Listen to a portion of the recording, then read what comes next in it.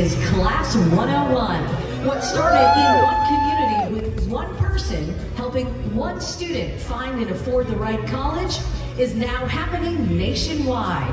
Class 101 guides high school students through the often daunting process of applying to college. Last year, we counseled our 10,000th student, and today, more than 8,500 of those hold college degrees.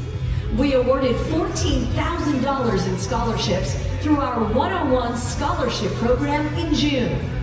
And our 2022 senior class was awarded more than $221 million in merit-based scholarships, totaling nearly 860 million in scholarships since the inception of Class 101 in 1997.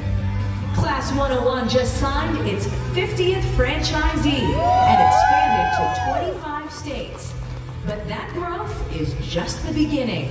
In 2023, we plan to expand to 75 locations.